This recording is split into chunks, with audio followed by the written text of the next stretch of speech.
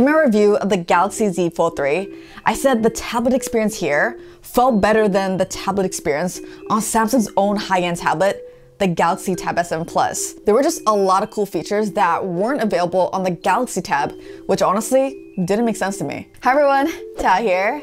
I mean, I get it.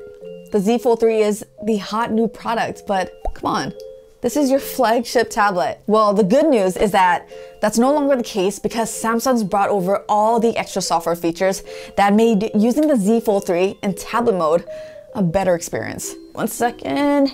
All right, if you look at the update notes, you were probably left feeling even more confused. Maybe I can help. Let's break it down. The biggest and most impactful change has to be that you can now pin the edge panel to the side of the screen, so it ends up looking like this. You can fit a total of 22 apps or app pairs that you can view by scrolling up and down. It acts just like a taskbar on a computer. Just tap any app and it'll open on the screen. It's super snappy. Just look at how fast it switches from app to app. The Tab S7 was already a multitasking monster, but this pin taskbar feature makes it even more appealing for those who like to jump between apps quickly. The obvious downside here is that it takes up some space on your screen, but you can easily unpin it at any time. Honestly, I feel like the added functionality is worth the tiny bit of screen it takes up. The only scenario where I would not want it there is when I'm watching content in full screen. And thankfully, it automatically hides itself when you full screen a YouTube video or start watching something on Netflix. Also included in this update are a couple of small additions to the split screen experience. You've always been able to run three apps at the same time, but what's new is the added flexibility in terms of layout. In the past, you could only split the second and third app on the right side, and it was always stuck at a 50-50 split. Now, you have even more freedom as to how you want your windows laid out. As you can see, you can drop a third app anywhere you want, and even more handy, resize exactly how much space each app takes up. I found this great for perfectly framing a YouTube video and giving me more space for two other apps. Samsung also added the ability to move an app from a pop-up window to a split window and vice versa. For example, let's say I have the browser and calculator open. I can long press this little bar here at the top of the calculator and drop it in the middle of the screen to turn it into a pop-up window. To put it back into split view, it's the same procedure, except you're dropping it onto whichever side you want the app to be placed. Similar to that, they've also made opening things in new windows a tiny bit easier. The best way to explain this is to just show you some examples. In the File Explorer, you can long press any file and drag it to either side to open that file in a new window. You essentially have to drag the file all the way to the edge of the screen to get it to kick in, which does feel odd at first, but yeah, this is definitely helpful for viewing two files side by side. In the browser, you can now long press a link, then drag it to either side to open that link in a new browser window.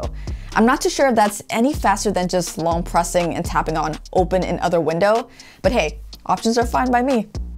In the Gallery app, long pressing an image, then dragging it to either side will open that image in a new split window.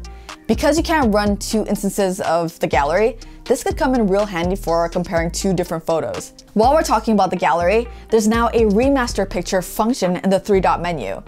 When I think of remasters, the first thing that comes to mind is music. Remasters are usually a new and improved version of the original song. Well, that's pretty much what this is. I tested it with three random images and here are the before and after. You know how third-party photo editors have an auto edit button?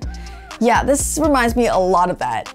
I feel like it's tweaking the photo based on what Samsung's algorithm feels is the most appealing or attractive. It can be hit or miss. I personally enjoy editing my own photos, so I won't be using it much, but it being built right into the gallery app is pretty nice. Alright, diving into the settings, you'll notice a brand new layout with menu headings on the left side that when tapped will open up the settings on the right side. The Labs menu under Advanced Settings is a new addition. In here, you'll find a few quality of life improvements. By default, not every app will work in a split screen view. Instagram, for example, is one of those apps. Turning on multi-window for all apps forces every single app to work. So let's turn that on. And now, as you can see, you can run Instagram side by side with whatever you want. Show apps in landscape basically gives you full control over how apps look when you use them in landscape. Because a lot of third party apps aren't optimized for the tablet screen, you end up with either an app that won't even run at all in landscape, or if it does, it's stretched across the screen and isn't very fun to use. The setting will allow apps to run in landscape and gives you the choice between running the app in full screen or keeping the app's aspect ratio like this. But yeah, those are basically all the major changes. This update definitely levels up the software experience and puts it on par with what you get on the Z Fold 3. I love what Samsung's doing with the pin taskbar. Hopefully we see them continue to build on it. If you own a Galaxy Tab, what do you think of the taskbar? Love it? Hate it? Let me know. As usual, thank you so much for watching. Until the next one, I'm out of here.